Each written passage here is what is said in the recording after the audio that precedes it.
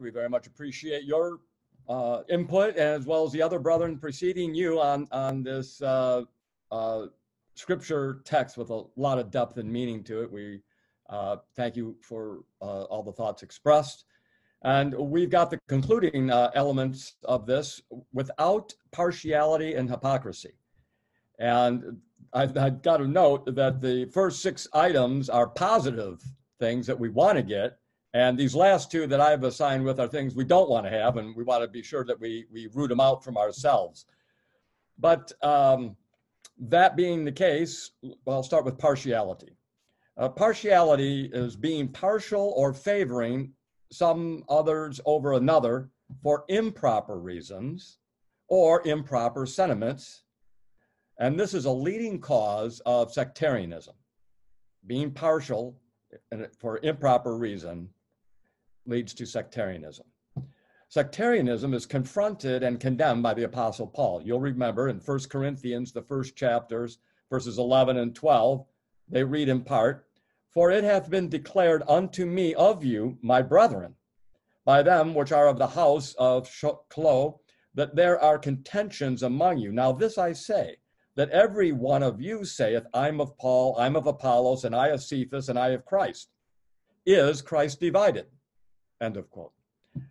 The Apostle Paul is bringing out that these are improper divisions, uh, and it's it sectarianism. Uh, different of the brethren in uh, Corinth were circling themselves and some form of loyalty to all these different uh, leaders that were there, and probably each of these leaders did good. Paul certainly did, Apollos did, and I'm sure Cephas and did. And the point is that Christ is not to be divided. So we shouldn't have this sense of sectarianism about it over personality traits or, or other things uh, along that nature.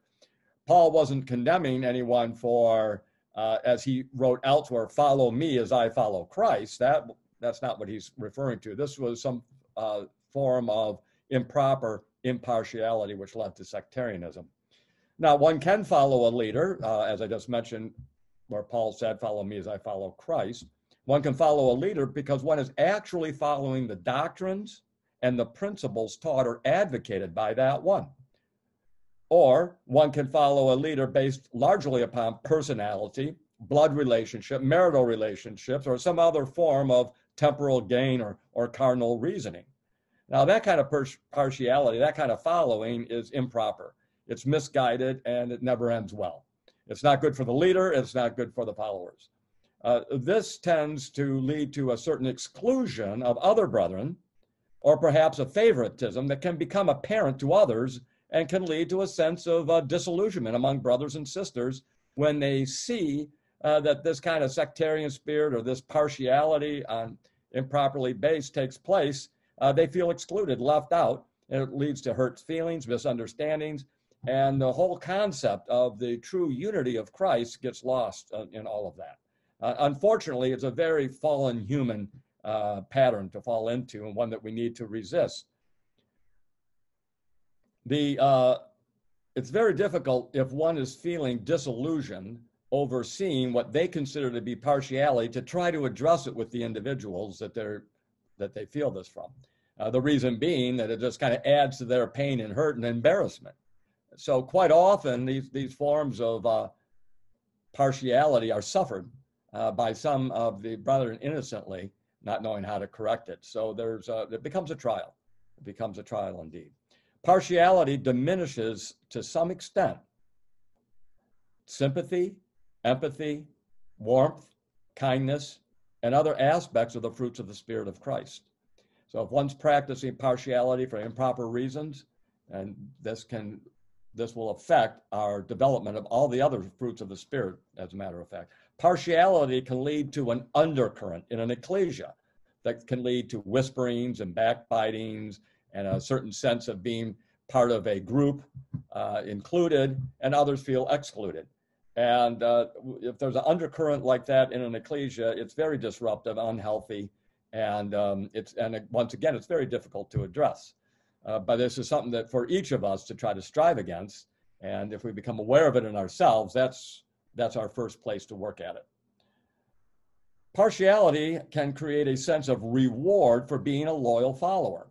If it gives us a distorted feeling of being included by making others feel uh, excluded or as if they're outsiders.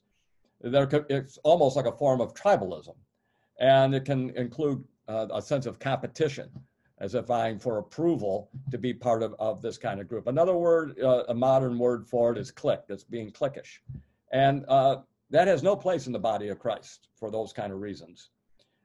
In part, uh, being partial can be the result of a certain fear. Now, the, the fear that I'm referring to in this is the fear of being rejected by those that you want to have appreciate you. It's a sense of being rejected because it makes you feel lonely. A sense of being rejected because you might uh, interpret that as if you're not being spiritual enough or holy enough or good enough to be part of these certain groups. When and actually that might not be the case whatsoever.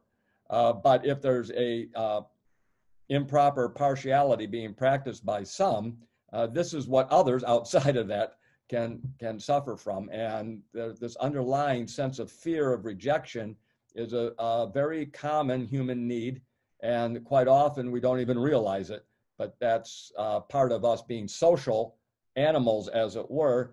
Uh, we do desire to be socially involved, and if we're feeling excluded from some of our brethren um, for improper reasons, uh, that uh, creates a lot of emotional um, damage in individuals to strive against. So we have to work at making sure we're not practicing a wrong uh, partiality.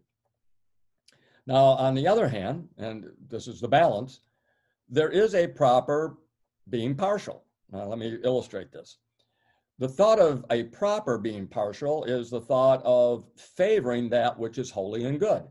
We should be partial to what is right, what is honest, what is pure, and of good report. This is what I'm going to term principled partiality. It is based on godly principles of justice, truth, and love, not on personalities, advantage, relationships, or other carnal sentiments. Now, I'd like to give an example of what we're referring to in that. Um, and this is uh, from uh, the Apostle Paul's writing. I want you to think we read earlier from 1 Corinthians, the first chapter, verses 12 and 13, where, where the Apostle Paul was condemning a sectarian spirit, uh, improper partiality. Well, here in Romans 16, verses 17 and 18, uh, we're going to, I'll read it to you, but Paul is advocating avoiding certain ones because there's a problem there. It reads, Now I beseech you, brethren, mark them which cause divisions and offenses contrary to the doctrine which you have learned, and avoid them. For they that are such serve not our Lord Jesus Christ, but their own belly, and by good words and fair speeches deceive the hearts of the simple. Uh, end of quote. Now, uh, the simple, I think a better rendition is the unsuspecting. Not that they're simple minded, but they're unsuspecting. They aren't expecting to have someone who's serving their own belly, in other words, their own egotistical appetites, of being in a leadership role, whether it's actually voted in as leadership or just looked to as being a leader. Uh, and sometimes that can be brothers, uh, and but it can also be sisters who can be looked to as as leaders, uh, as it were, among some, and it can generate uh, problems. So Paul is saying, if you see this taking place, avoid them. Now, when Brother Russell comments on on this text, and actually comments quite quite a bit, uh, he's making the point that there are various degrees of how there would be this avoiding. Uh, sometimes it would just be a little bit more cool, uh, just to demonstrate that there uh, there's an action here that's serious enough. It's got to be serious enough that it calls for a little bit of uh, avoidance, a little bit of, of coolness to hopefully help that individual realize that they are conducting themselves in an improper way, which is causing harm uh, amongst other brethren. So I'm going to leave that there just to point out that there is an improper partiality, but there are occasions where there's a proper partiality avoiding. Even though I have to say, and I think you would agree, that the case of having to do that is very rare, gratefully. Uh, it does exist, but it doesn't happen uh, that often. Uh, I'm, uh, I think we're much more concerned with being sure that we aren't being uh, partial in an improper way in ourselves. I think that's what we're confronted with far more often.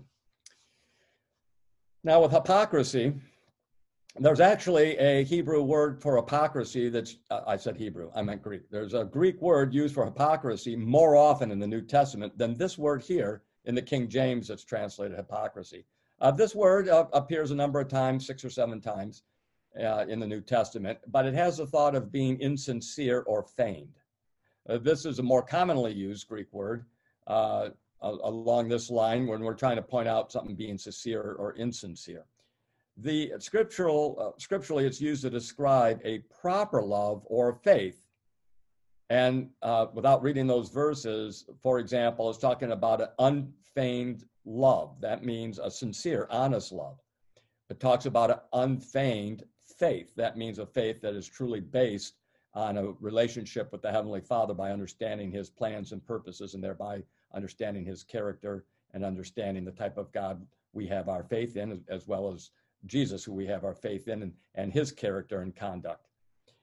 Now, having um, an insincere or a faked or superficial love or faith is, is, is really worse than useless. It doesn't help us in our relationship to God and Jesus, that's for sure. And it really doesn't help us in our relationship to brethren. Uh, far be it that we would practice being sincere, that we would not be phony, but that we would be uh, unfeigned in all of our uh, proper um, relationships. Brother Russell used these terms in the morning resolve. Let me remind you of that. It reads, I will strive to be simple and sincere toward all. Now, his thought on the word simple here, I think, means unfeigned, not with duplicity. Brother Russell thought simple would be without duplicity. It's just straightforward. What you see is what you get. There's no undercurrent, there's nothing underlying this. It's not two faced. Uh, the word sincere here, I will strive to be simple, and sincere would be that is from the heart, with meaning, a, a meaningful uh, sincerity. And when Brother Russell concludes that sentence, toward all, I will be strive to be simple and sincere toward all, that shows without partiality. This has the thought of um, that we want to be simple, sincere. We want to be without partiality, without hypocrisy, to the greatest extent possible. It has to do with having integrity. It has to do with having integrity.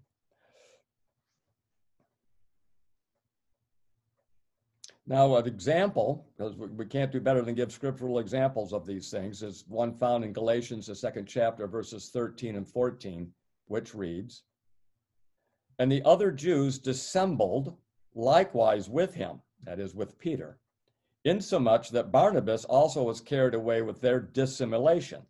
But when I saw that they walked not uprightly according to the truth of the gospel, end of citation, Paul is writing here how Peter and Barnabas and other of the Jewish Christians had been eating with the Gentiles. But when certain Judaizing Christians had come up from Jerusalem, they seemed to come up with an air of holiness and that they were keeping the law and being uh, Christian, and they would not eat with the Gentiles, believers. And so Peter was taken away with this. He was overcome with peer pressure. And Barnabas even followed along with that. And uh, these are very peculiar because both uh, Peter was used to introduce the first Gentile con- converts, Cornelius and his family. He used the second key at that time to invite them into the high calling, as it were, directed by God to do so. And Barnabas had worked with Paul amongst the Gentiles for, for a long time. So this was really odd. But this the word dissimulation here is hypocrisy. And it was a form of hypocrisy. And Paul uh, didn't let it go. He had to address it. But I want you to think about how much harm and how much pain, this uh, emotional pain, this must have caused the Gentile believers who were there witnessing this it, it was so unchristlike at what, what they had learned that I imagine Paul had to do quite a bit of damage control. And I'm not sure that when Paul confronted Peter and Barnabas over that, maybe they apologized right then and there, which would have helped these, these poor Gentile brethren to feel more accommodated. But it certainly would have been a trial with these Judaizing Christians being there. So that was a, a major confrontation over acting in a hypocritical or a partial way improperly. Now, uh, with that uh, set before us, this example demonstrates the power of peer pressure. You know, this dear Peter had suffered being beaten and threatened with more beating and imprisonment if he refused, if, if he didn't stop preaching the gospel in the temple precincts. But as soon as he and John were released, uh, he went out and he preached again. So Peter could withstand the torment, torture, the beatings, but here with the emotional, mental peer pressure, he caved in. So this is a lesson for us, brethren, how we might think we're standing when we could easily fall, uh, maybe in not this kind of degree here, but in some sense, that we could fall into a sectarian pattern or, or, or way of thinking, which we all want to be on guard against. It's, it's a personal matter that each one of us has to look into our hearts, which is undoubtedly why Brother Russell included it as part of the morning resolve that I will strive to be simple and sincere toward all, because apparently it's a, a very easy, common, sadly, tendency of the fallen human nature. Again, a lot of it's motivated by fear of, of, of being rejected, but that fear can often lead, in some sense, to rejection of, of others. Now, I like a verse. It's 1 Corinthians 16, verse 14. It's um, from the Weymouth translation. There's just one one word that I really like that Weymouth provides here, and it's the admonition. There is Paul's writing that we should examine our motives, that they be motives of agape love. So that if we examine what motivates us in our relationships, and if we can find that it's the principled love, that selfless love, the agape love, if that's our motive, then we can be um, we can have greater confidence that we won't be practicing partiality or hypocrisy. Thereby uh, closing uh, this with a text out of Titus 2 and verse 10, uh, just part of it. But the point is is that uh, Paul was admonishing Titus and, and all of us by extension that we should conduct ourselves outwardly in order that we might, quote, adorn the doctrine of God. Adorn the doctrine of God. If we walk the true walk of a Christian without hypocrisy, without uh, uh, partiality, if we can be pure and peaceable and gentle and have mercy and try to practice righteousness with others, if we put on the good fruits and if we avoid these these uh, shortcomings, these false shortcomings, whatever we then say to others along the lines of the doctrines of God, it'll have a much greater impact. Because as we know, as commonly said, I'd rather see a sermon than hear one any day. May the Lord add his blessing.